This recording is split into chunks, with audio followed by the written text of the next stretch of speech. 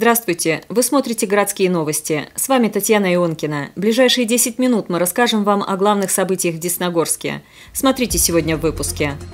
Глава администрации города обозначил задачи на текущую неделю. Частные насосы в коттеджах способны лишить тепла целые улицы. Какие статьи административного законодательства чаще всего нарушаются в Десногорске?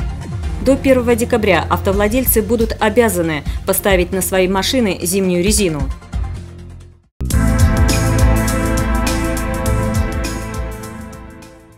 Об этих и других событиях подробнее. На оперативном совещании председателей комитетов и руководителей муниципальных служб города, которое проходит по вторникам, подводились итоги минувшей недели и определяли задачи на текущую.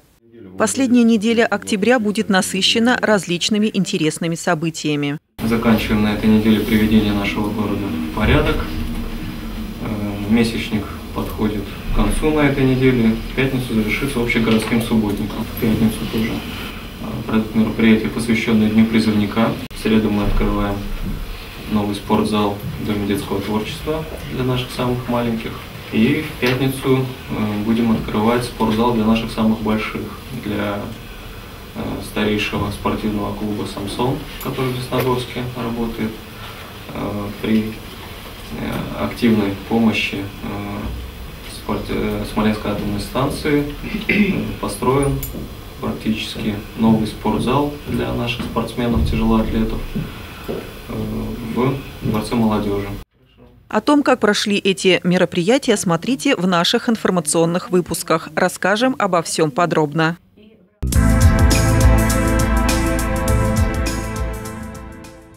Каждый год владельцы коттеджей в шестом и восьмом микрорайонах сталкиваются с проблемой нехватки тепла для обогрева. Несмотря на то, что подача тепла в микрорайоны происходит через мощные теплосмесительные узлы.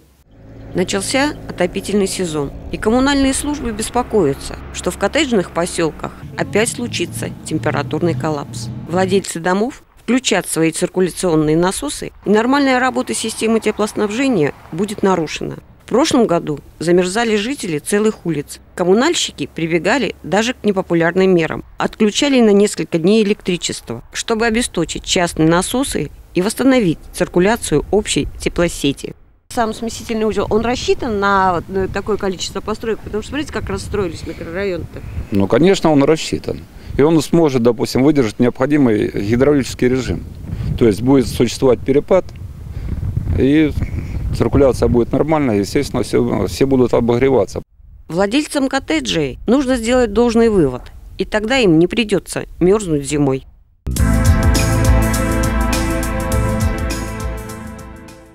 Двадцать седьмого октября в администрации состоялось очередное заседание административной комиссии. В этот раз на рассмотрение были представлены пять протоколов о нарушении областного законодательства. Какие статьи нарушили, выяснила наш корреспондент.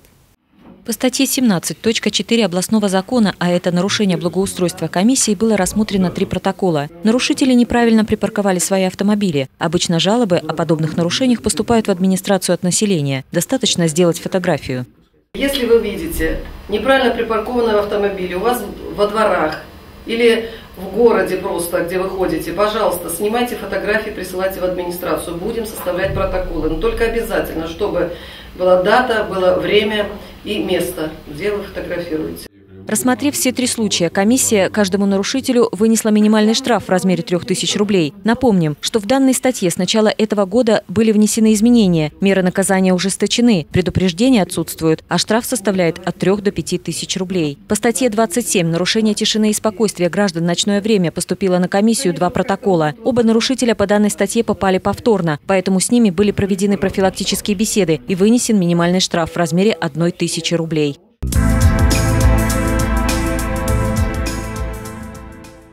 Наступают холода, скоро выпадет первый снег. В такое время года зимняя резина обеспечит безопасность движения на дорогах. Тем более, что с 1 января этого года уже работает постановление правительства, по которому хозяева обязаны переобувать свои авто в зимние шины.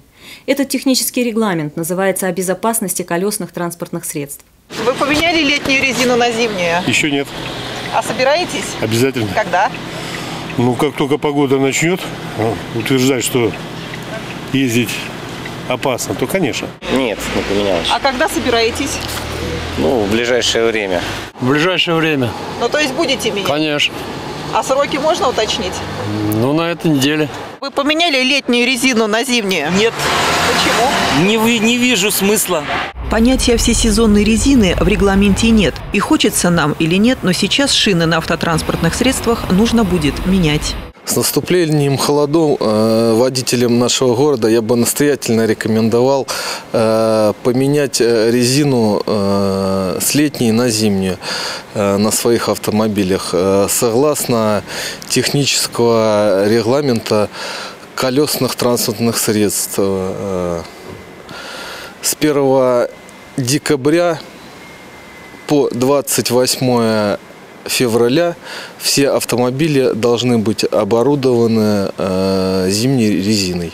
Итак, в зимний период времени передвигаться разрешено только на зимней резине, причем глубина протектора должна быть больше 4 мм. А те водители, которые пренебрегли техническим регламентом о резине в 2015 году, будут наказываться. Минимальный штраф составляет 500 рублей. В странах, где зимняя резина является обязательной, ДТП в холодное время происходит реже, примерно на 35%. Весьма разумный довод исполнять требования нового техрегламента, ведь нет ничего дороже сохраненных человеческих жизней.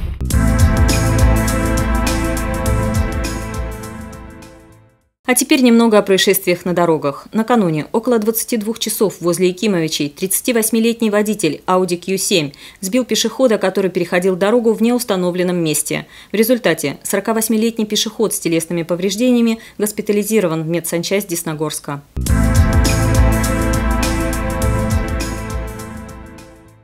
Школах города заканчивается первая учебная четверть, и со 2 ноября начнутся осенние каникулы. Во всех школах на это время будет организован досуг детей. 1 ноября в 12 часов дня по местному времени во всех регионах страны стартует Всероссийский географический диктант. Акция проводится Русским географическим обществом впервые, а принять участие может каждый желающий. С инициативой проведения диктанта выступил Владимир Путин. Десногорцы смогут проверить свои знания на сайте Русского географического общества, где будет организовано онлайн-тестирование, которое начнется 1 ноября в 14.00 по московскому времени. Главный принцип акции – анонимность. На бланках заданий и ответов указывается настоящее имя или псевдоним. Каждый участник получит личный номер. Используя его, можно можно узнать свои результаты 10 декабря на rgo.ru.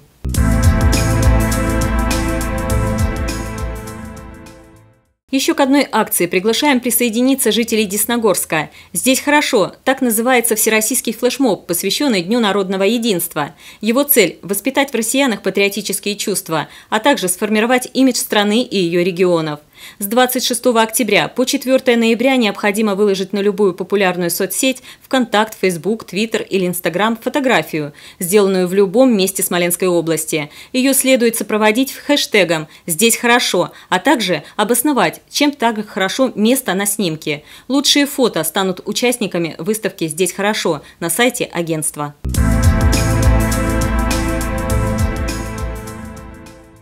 А сейчас новости из медсанчасти. За минувшую неделю диспетчерский пункт отделения скорой медицинской помощи принял 275 вызовов, в том числе на одно ДТП. В отделение стационара медсанчасти с различными диагнозами госпитализировано 127 человек, один с инфарктом миокарда. Зарегистрирован один случай заболевания пневмонией. Заболеваний гриппом не выявлено. Десногорские медики поддержат акцию, которая пройдет 29 октября в день борьбы с инсультами. В медсанчасти будет развернут пост, где можно измерить давление и получить квалифицированную консультацию. Также для населения подготовлены памятки, которые будут и размещены в общественных местах города.